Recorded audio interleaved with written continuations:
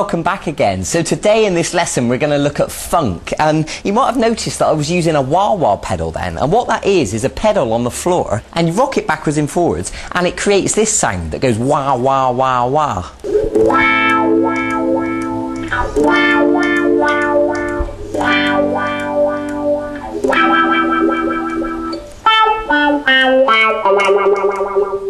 Now you don't need a wah wah pedal to play funky stuff. You can do it with just a normal clean sound and that's fine.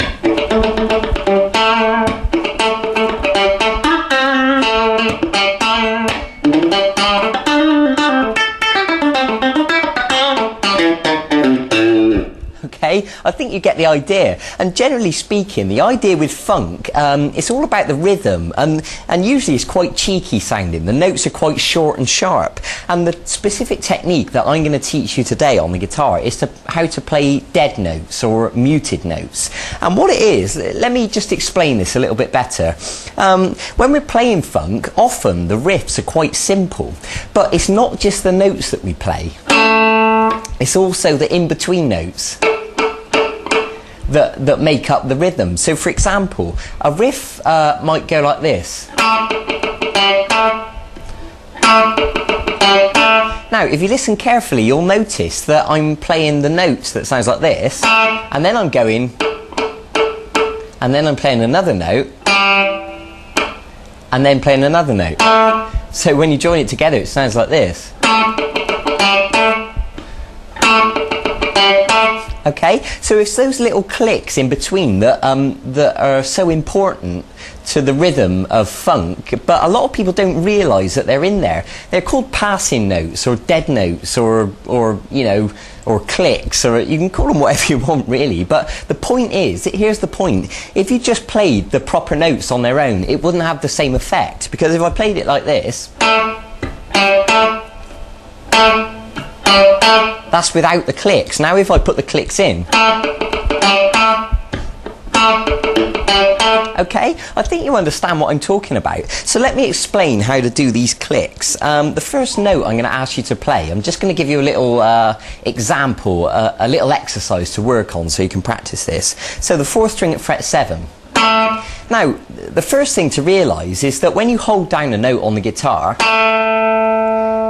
the note sustains for as long as you hold the note down, but as soon as you lift the pressure from the string, the note stops. And you can see the moment that I lifted my finger up, I'll do it again. Okay, now I'm not taking my finger totally away from the guitar. All I'm doing is lifting the pressure so the finger is still touching the string, but it's not holding the note down. And a result, you know, it, it stops the note, it mutes it. So what you can practice doing is doing long notes where you're just holding your finger down. Then you can do notes where you stop it each time, like this. And then if you want to practice further, you can practice doing really short, sharp notes by just holding the string down for a millisecond. And you can see I'm pressing the string down at the exact same second that I pluck the string, and then I immediately release the pressure. And I'm only holding it down for a split second long enough to get a short note like that okay?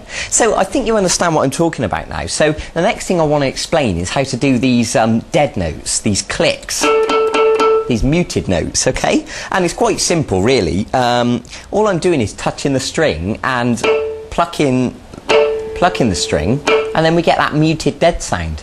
So what I suggest you do to begin practicing this is to play one note normally and then lift the pressure so you're just touching the string, not holding it down and give it a pluck and you can do it alternately like this.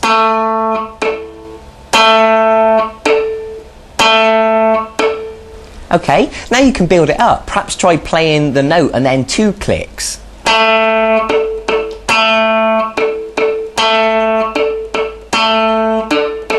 If you want to take it one step further, what I suggest you do is use the plectrum to pluck down on the note, and then down, and then up on the second click. So if you watch my right hand carefully, you'll see me plucking down, and then down up. Okay? So what that means is when we speed it up, it'll sound like this.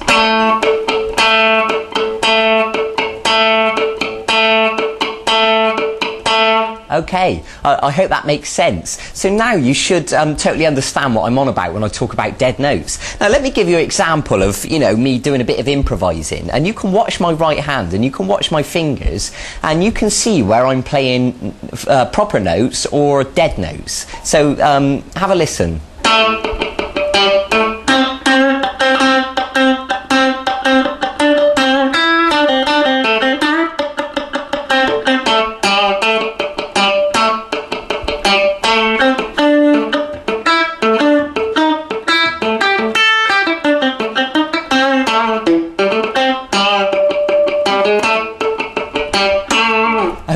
I hope that was a good enough example. Um, now, of course, at this stage, you already know a few scales. You know the blues scale, you know the minor scale. So, what you can do if you want to take this upon yourself to go away and practice improvising and using those scales um, and combining it with the technique I just showed you, that little funk rhythm, and to create a funky little improvisation like I just showed you.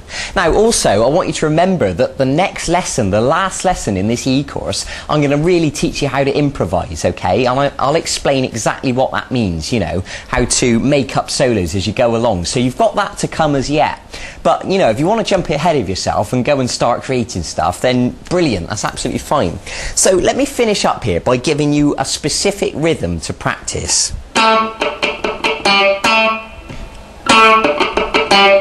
So you're going to pluck the fourth string at fret 7 once, and then you're going to play the muted note down, up, down, up like that.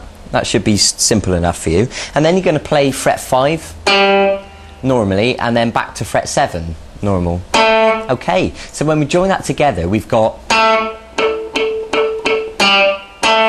Okay, I hope that makes sense. Let me play it at full speed so you can really get a feel for the full funky energy.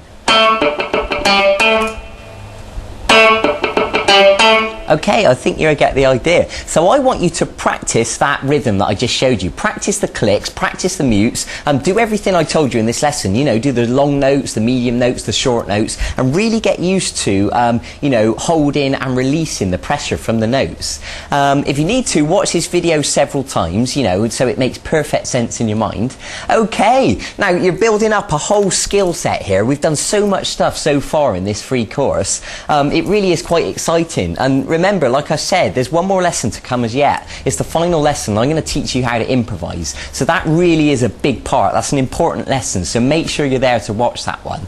So, as usual, go and get on with it. And as usual, I tell you this every time, be patient with yourself. There's no rush. It took me a long time to get this stuff sounding smooth, you know, so it'll probably be the same for you.